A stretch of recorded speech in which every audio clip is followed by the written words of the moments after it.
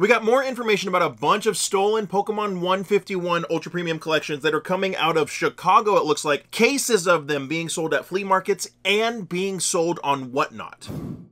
What's going on, everybody? Welcome back. You're watching the channel Dr. Applesauce 2. My name's Will. It's another beautiful day here in Texas. I hope you guys know that I love you, God loves you, that there is an awesome plan for your life. So late last night, we got the information that somebody was selling stolen Pokemon 151 Ultra Premium collections on Facebook, and on Instagram and a bunch of different places. So if you want to go check that video out, you can. We're not going to go into all the detail about the contents of the Ultra Premium Collection like we did in that video, but some more information has come out, and I've had two different viewers reach out to me, so huge shout out to you guys for giving me this information. Thank you so much. They wanted to uh, remain anonymous, so we're going to keep them anonymous. And it seems like these uh, these Ultra Premium Collections are being sourced or they're, they're originating from Chicago somewhere. So my first one is one of my viewers reached out and was telling me that they were at at a thrift mart or a flea market in Chicago, and they found a seller there, which I'm assuming is the Windy City Pops that we talked about in the video yesterday, who had two cases of these ultra premium collections. Two cases of these ultra premium collections. So you can see right here, they said, we were at a flea market in downtown Chicago and the dude had two cases for $150 a piece. And then there's some of the booster backpacks right there that they had. And they said, aren't they coming out in October? And I was like, yeah, they come out in nine weeks. They clearly got them from somebody that stole them. They said it was at the Swap-O-Rama in Chicago. And then you can see right here, they actually took a picture of the case uh, that the person had. So this dude just had a couple cases chilling of the Pokemon 151, you know, Ultra Premium collection nine weeks early, selling them at a flea market. So a lot of stuff about these leaking surrounding Chicago, including the Whatnot seller that I'm about to show you that was selling them on Whatnot, who verbally confirmed uh, that they got them in Chicago or was talking about the Windy City, stuff like that. So you can see right here, boom, right here is the, the case showing the Pokemon TCG Scarlet and Violet 3.5 Ultra Premium Collection English, four per carton, and then the metal cards, the deck box, and the playmat parts were made in China. So there is all of the information from that. I don't know if this will help the Pokemon Company to source where these originated from, where these cases came from, but there's all the information for the actual labeling from the, the factory and the distributor for that. Absolutely wild that somebody at a flea market in Chicago had multiple cases of these, and I did reach out to them on Instagram and never heard back from them. Uh, by the time I'm editing this video, if they have responded, I'll throw that up uh, into the video, but as of now, nothing from them in response to how they got these, where they got these, selling them for 150 bucks a piece, and then obviously, are we surprised that people on Whatnot are getting their hands on them and trying to sell them for 200 $250? Now, don't be spending crazy money on these because, like I said, they were up for pre-order for so long. Uh, they may still be up for pre-order at Target. You can easily get pre-orders of these for 100 120 bucks at MSRP. Don't pay $250 for these or what these people are asking just because they're early. It's stupid. The These types of sellers are going to miss mislead you, tell you that it's super, super rare, that's going to be super, super hard to get. Nine weeks early for something this large and this big of a deal, like an ultra premium collection is very involved, is really, really a lot. So the next thing we have is we have uh, somebody sent me some information about a Whatnot streamer. There's actually on Whatnot early this morning that had some of the Pokemon 151 Ultra Premium collections and was showing them off and trying to sell them. So we can look at this screenshot right here and see that the screenshot is showing us that they actually had them up and they were trying to let them go for, I think it was $260. Yeah, right here. English 151 Ultra Premium Collection.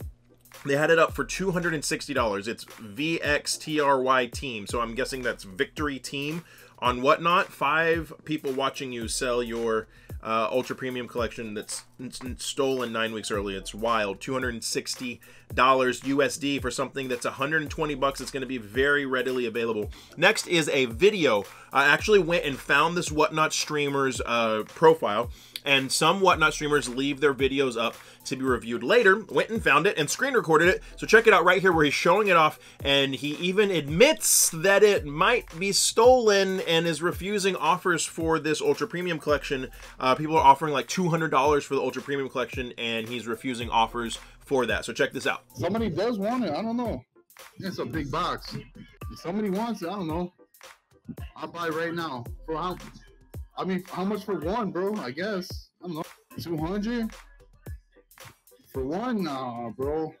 I don't know. I don't know, bro. I just I just got these like an hour ago. Not not not even, bro. That's the thing. Sheesh. I only got two right now. My pills been coming through. Like, sheesh. I kid you not. Um, I don't know. It's kind of hard to. uh, It's kind of throw out a number to be honest with you, bro. Not even. Gotta be stolen. nah, bro. Maybe, maybe not. I don't know. Nah, bro. Maybe, maybe not. I don't know. It's kind of hard to throw out a number when I just got them. So as of right now, you can go onto that seller's whatnot stream and still look at that stream. That's the clip that I put together, but my source that wanted to remain anonymous also told me that later on in the stream, about the hour 45 mark, another whatnot streamer came in and they negotiated a trade. So these UPCs are going to end up on some other whatnot streamer's stream where they're going to try and sell them. And this just goes back into the the crazy like I understand if whatnot's letting people, you know, sell things right before pre-release or whatever. That's a gray area and I get it. But something like this that's 9 weeks ahead of time, like whatnot needs to be a little more strict about things like that. And then this seller did mention to my source that he was in the Windy City area. So this seller very potentially could have also gone to that Swap-O-Rama flea market that our first source sent us that information with the pictures of the actual cases. This whatnot seller could have very well gone there and bought them from 150 bucks and is trying to turn around and sell them for a $250 uh, price point, about a $100 profit each. I'm really incredulous to see stuff like that. I mean, this happens every set, but something as involved as an ultra premium collection this far in advance, to be honest with you, is kind of wild that that's been leaked. Multiple, multiple cases have found their way out of distribution and are seeming to originate in Chicago some way, shape, or form.